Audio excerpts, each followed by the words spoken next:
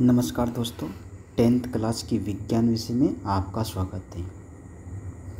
हम lesson number दो की बात कर रहे थे मानव तंत्र इससे इससे पहले वाली वीडियो में हमने यहाँ पर जो है मानव रक्त परिसंचरण तंत्र के बारे में चर्चा करी थी।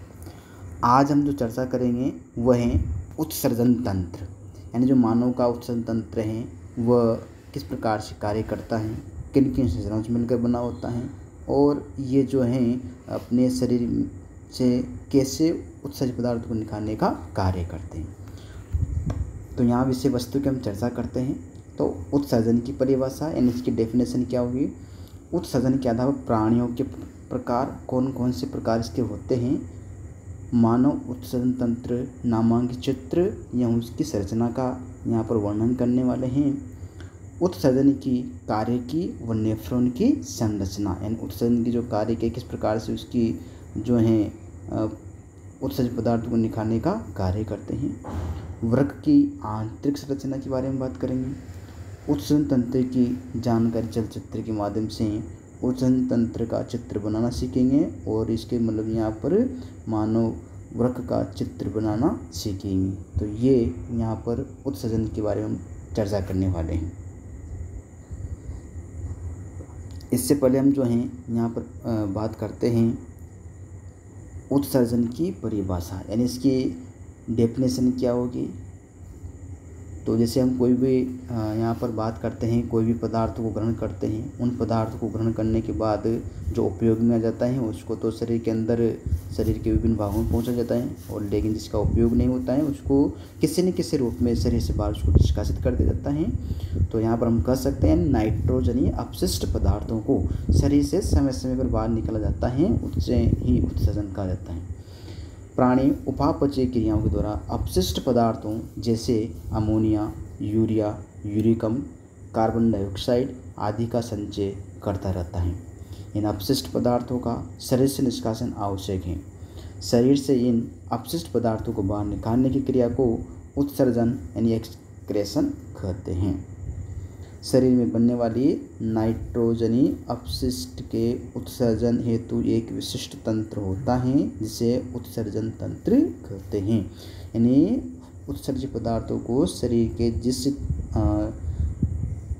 तंत्र के माध्यम से उसको निकाला जाता है, उसे ही क्या कहते हैं? उत्सर्जन तंत्र कहा जाता है। आइए हम यहाँ पर बात कर रहे हैं नाइट्रोजन अपशिष्टों के आधार पर प्राणियों का वर्गीकरण किस प्रकार से होता है? तो इनके सबसे पहले हम बात करें अमोनिया उत्सर्जी प्राणी। एमनोटिक जो यहाँ पर प्राणी हैं, उसी की हम चर्चा करने वाले हैं, अमोनिया उत्सर्जी प्राणी। तो यहाँ पर बताए गए हैं। दूसरा है यूरिया उत्सर्जी प्राणी। इसमें दे रखा है कि जो यूरिया का निष्कासन करते हैं, वह यूरियोटेलिक प्राणी कहलाते हैं। स्तनधारी कुछ समुद्री यूरिया का उत्सर्जन करते हैं। ये प्राणी अमोनिया को यकृत के माध्यम से यूरिया में परिवर्तित करते हैं। इसे एक विशेष तंत्र द्वारा शरीर से त्याग दिया जाता है। तो यहाँ पर मछली, जानवर और हाथी इसमें इसका उदाहरण दे रखा है। तो ये यहाँ पर जो है, यूरिया उत्सर्जित पदार्थ जिसको हम यूरिकोटेलिक जंतु कहते हैं। यूरियोटेलिक प्राणी कहा जाता है। ठीक उसी प्रकार से यहाँ पर जो हैं, हम इसकी चर्चा करने वाले हैं कि इसमें जो है यूरिक अम्ल उत्सर्जित प्राणी यूरिकोटेलिक कहते हैं, पक्षी, सरिसर, कीट आदि प्राणी। अमोनिया को यूरिक अम्ल में परिवर्तित करते हैं। यूरिक अम्ल को अत्यंत कम जल के साथ गोलिकाओं या पेस्ट के रूप में त्यागा जाता है। इन प्राणियों को यूरिकोटेलिक प्राणी कहा जाता है। यूरिक एसिड का निष्कासन करने के कारण से क्या कहते हैं? यूरिकोटेलिक प्राणी कहा जाता है। आगे हम यहाँ पर जो है बात कर रहे हैं इसके उत्सर्जन तंत्र की, यानी जो मानव का उत्सर्जन तंत्र है, वह किन किन भागों से मिलकर बना होता है, कहाँ पर स्थित होते हैं, इसकी हम चर्चा करते हैं। तो इस डायग्राम में हम देख रहे हैं, सबसे पहले इसमें दे रखा है अधिवृक यानी यहाँ पर जो किडनी है, उसके ऊपरी भाग पर यहाँ पर अधिवृक पाए जाते हैं। किडनी भाग इसमें दे रखे हैं मूत्र वाहिनी इसमें दे रखी है तो मूत्र वाहिनी एक जोड़ी होती है वृक भी एक जोड़ी होते हैं। और यहाँ से जो है इसमें मतलब मूत्र जब बनता है अपवाइन अपवाइन इसमें पाए जाते हैं वृक में और उसी के माध्यम से यहाँ पर जो ब्लड के माध्यम से अच्छे पदार्थ उसमें लाया जाता है और मूत्रवाहिनी जो है एक लंबी नलिका की समान संरचना होती है जो वृक्ष से अच्छे पदार्थों को लाने का कार्य करेगी और कहाँ पर ले जाती हैं ये? इसके मूत्राशय वाले भाग में होता है तो मूत्राशय जो है, एक थैले के समान संरचना पाई जाती है। इसमें मूत्र को एकत्रित किया जाता है। उसके बाद में यहाँ पर मूत्र मार्ग होता है तो समय से उसको निष्कासित कर देता है। इसके अलावा इसमें यहाँ पर पृष्ठ महादम, महाशिरा और इसमें मतलब महाधमनी यहाँ पर उपस्थित होती हैं, जो रक्त में से उस अपशिष्ट पदार्थ को निष्कासित करने का कार्य करती हैं। आगे हम यहाँ पर बात कर रहे हैं इसकी जो इसमें तंत्र दे रखा है ह्यूमन एक्सक्रेटिव सिस्टम है, मानव तंत्र है। तो मानव तंत्र दो वृक्कों दो मूत्रवाहिनी, एक मूत्राशय तथा एक मूत्र मार्ग का बना होता है। वृक्कों में वलकोट और मध्यांश यानी जो किडनी यहाँ पर दे रखी थी, वलकोट इसमें दे रखे हैं। यानी कोटेक्स को होते हैं, मेडुला भाग होते हैं जो किडनीस के दो भागों से मिलकर बनते हैं। वृक्क काणु या नेफ्रोन, वृक्क की उत्सर्जन, यानी संरचनात्मक क्रियात्मक इकाई होती हैं। प्रत्येक वृक्क में लाखों वृक्क काणु जो हैं नेफ्रोन इसमें पाए जाते हैं। और ये सरथनाथ क्रियात्मक इकाई हम इसको कह सकते हैं। इसके माध्यम से ये क्या करते हैं, यहाँ पर इसके अंदर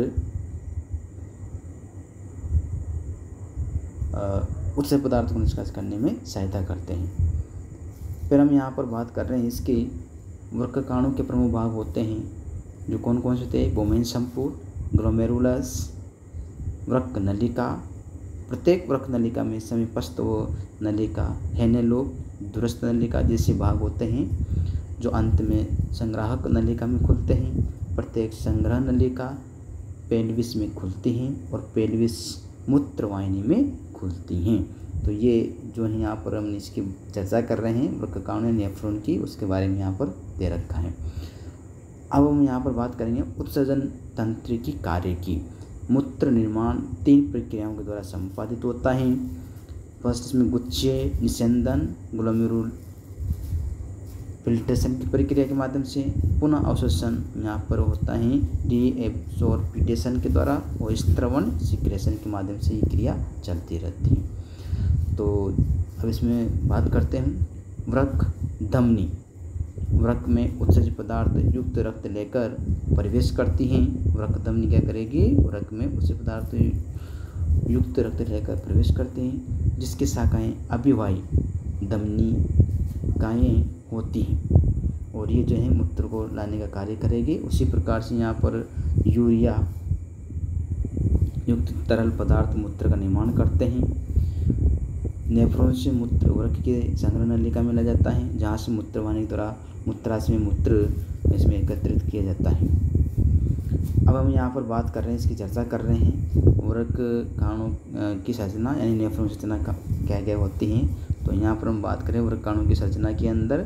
तो वृक के जो संरचना क्रियात्मक नेफ्रोन कहलाते हैं, इसमें यहाँ पर जो पहले समान संरचना पाए जाते हैं, इस पहले नुमा संरचनाओं को यहाँ पर क्या कहते हैं, वोमेन संपुट कहा जाता है, और इसके अंदर अभिवाह और पाए जाते हैं, इसे ग्लोमेरुलस कहते हैं। इसमें यहाँ पर जो है नलिका समान इसमें पाए जाते हैं। दो नलिका इसमें होती हैं इसको वोमेन पास पाए जाते हैं, इसलिए नली नलिका कहते हैं और इसे दूर पाए जाते हैं, इसलिए दूरस्थ नलिका कहते हैं। इसमें ये एक पिंड के समान सेना पाए जाती है नीचे की ओर, जो इसके अलग अलग दाब पर ये कार्य करते हैं, इसे हेन लोप कहा जाता है।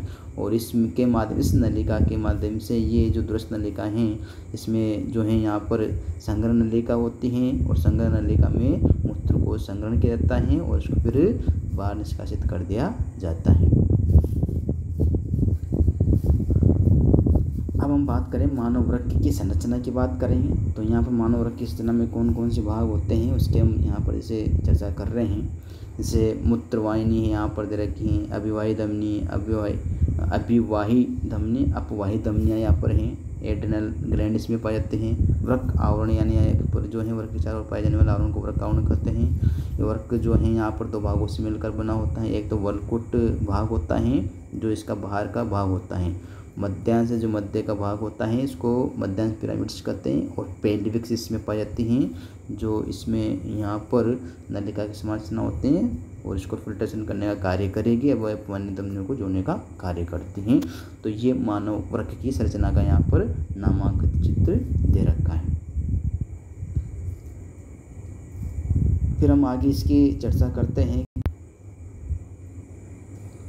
तो ये अभी हमने जो बात करी थी यहाँ पर, ये उत्सर्जन तंत्र के चर्चा करी थी कि कौन कौन से भाग होते हैं, कहाँ कहाँ कार्य करते हैं और जो है ये किस प्रकार पदार्थों को निष्कासित करने का कार्य करते हैं।